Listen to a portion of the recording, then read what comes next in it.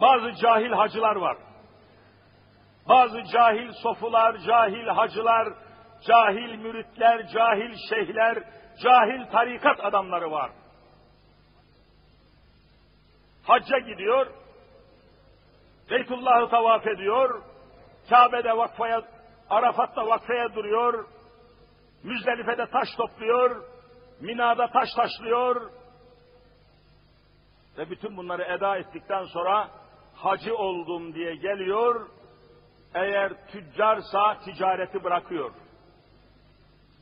Teraziyle çalışıyorsa teraziyi terk ediyor.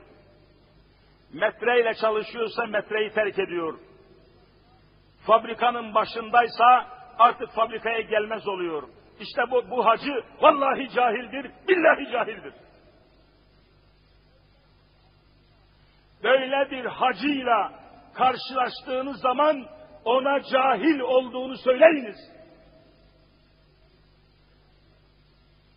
İslam'ın tam tersine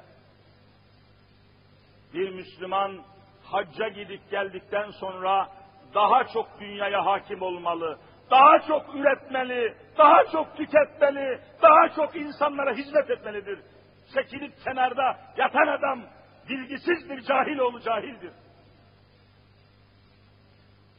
Hacca giden adam, Beytullah'ı gören adam, Arafat'ı gören adam, şeytanı taşlayan adam daha çok işin başına geçmelidir.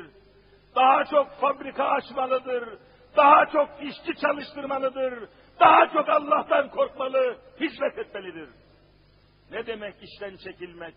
Ne demek dükkandan çekilmek? Vallahi cehalettir bu.